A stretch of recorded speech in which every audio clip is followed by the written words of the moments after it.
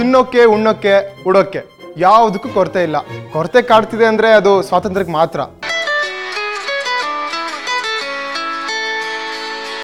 Sumukha mobile switch off ಮಾಡಿ. Forward thinking fast movement ಹೆಸರಲ್ಲಿ ಸಂಸ್ಕೃತಿ ಸಂಸ್ಕಾರಗಳೇ ಸತ್ತು ಹೋಗ್ತಿದೆ.